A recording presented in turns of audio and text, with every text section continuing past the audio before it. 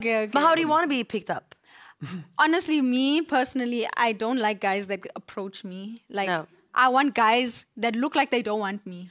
Ah. Yeah, they must just be mysterious. And then, Okay. Mm. Love it. but what is the story behind water?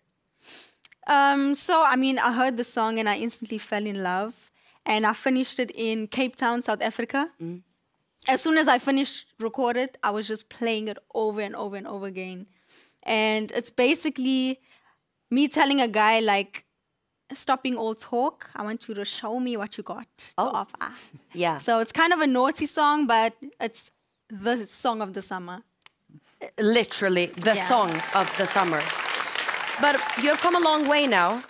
But what are your goals for the future? Like I said, I really want to be the biggest pop star, and I want the biggest pop star to be from Africa. Mm. Fuck yeah. So Yeah. yeah, but do you have like something that you're visionarying?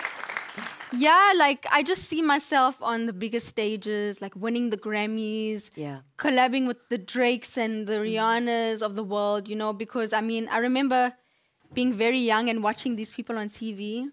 So I would really love to be that person for other young kids, especially from Africa, because yeah, I just want to be an example that it could happen for us, you know? You are. Yeah, thank you. I'm longing to see you there.